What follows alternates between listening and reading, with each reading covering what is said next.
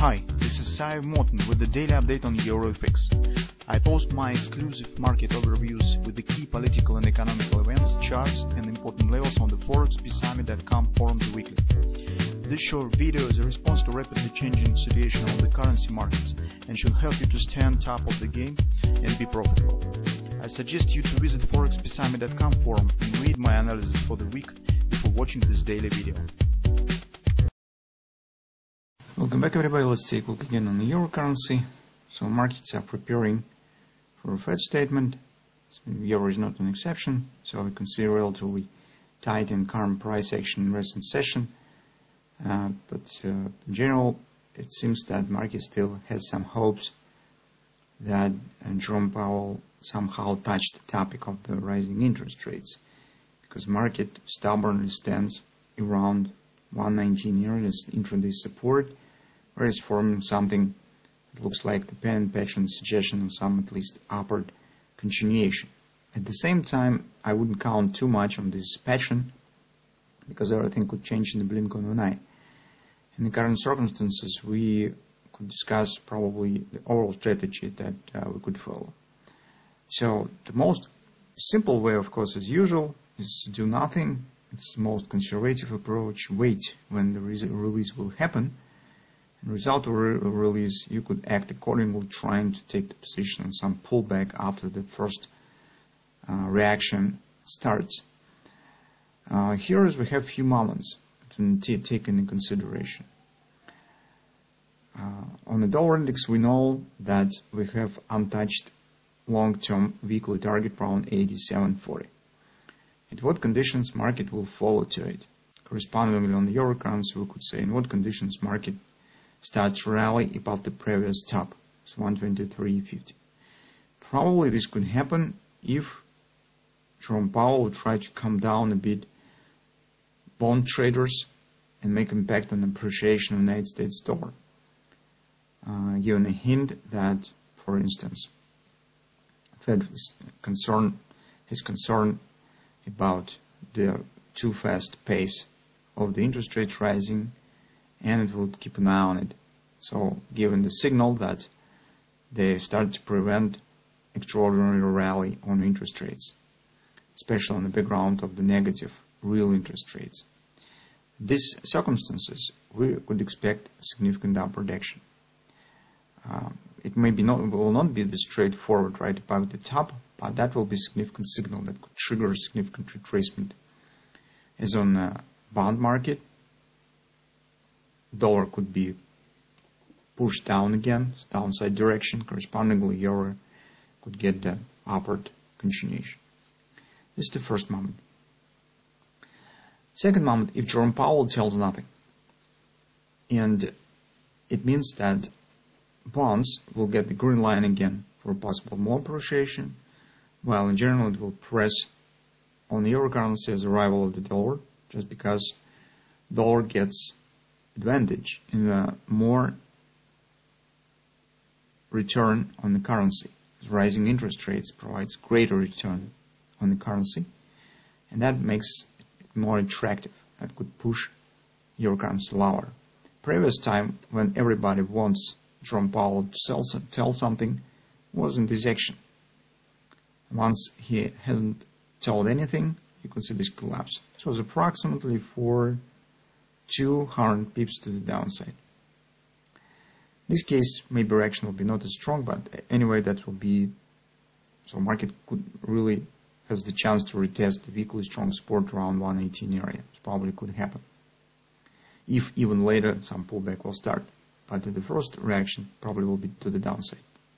In the current circumstances, guys, we see the volatility in both directions might be significant, whatever Jerome Powell will tell.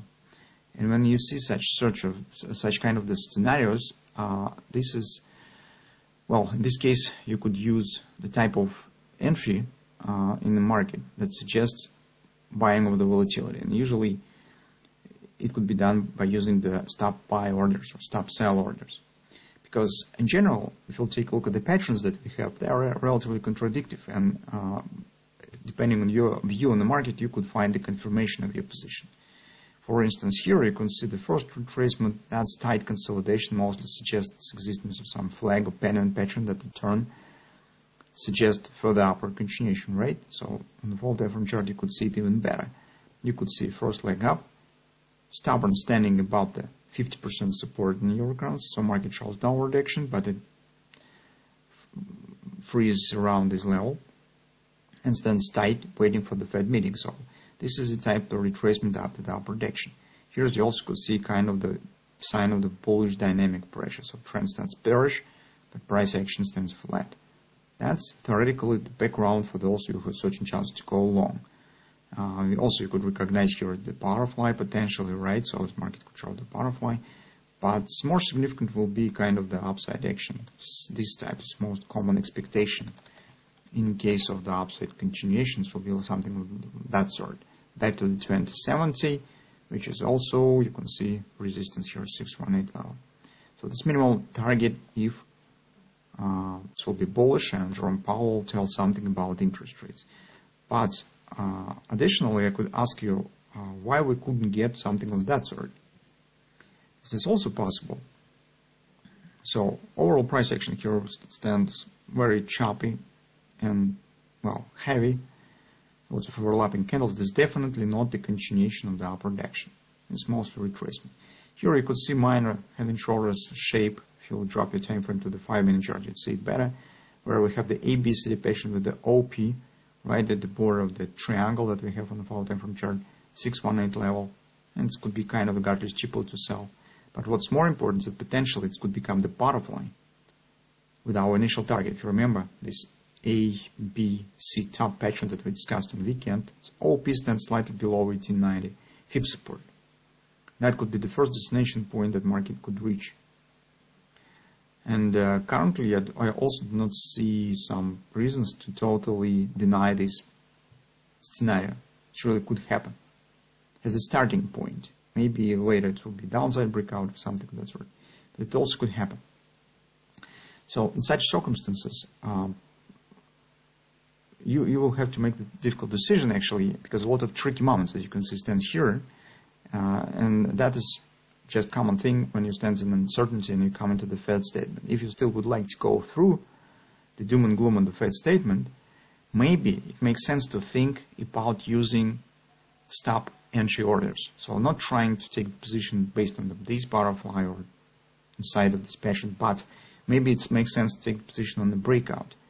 If no direction will be chosen, then you just will not get your entry. But if Jerome Powell will tell something, for instance, and will be strong action. And definitely, if you're taking the position on the breakout, um, you will be in the right direction because your second stop entry order will not be executed. So just taking two stops orders. For instance, uh, with the upward action, you could try to buy somewhere around 1970, around the C point, the breakout of this level the market will break it up and starting rising and trying to using stop sell order um, on the breakout, for instance, 1850 or 1880 right here.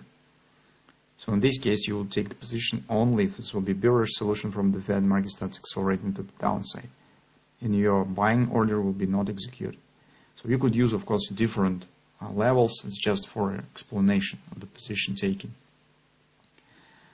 uh, depending on your own view on the market, but that's the way how you could act.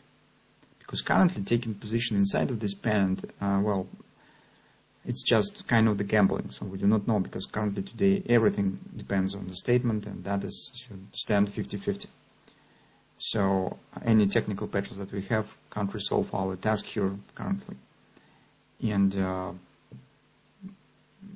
it's actually two major positions currently is either, as I said in the beginning, wait for direction when the statement already will be given, and then take the position on the retracement on the second leg of the overall upward or downward action, or trying to use stop entry orders. Something of that sort. But we will see maybe by the end of today's session and uh, Wednesday morning we also will get something um, that provides some more clarity on the overall situation. But at the, at the current moment, uh, you can see that from the technical point of view, we do not have clear advantage in, on, on any side, on a bullish or bearish direction. So that's what we have currently on the euro.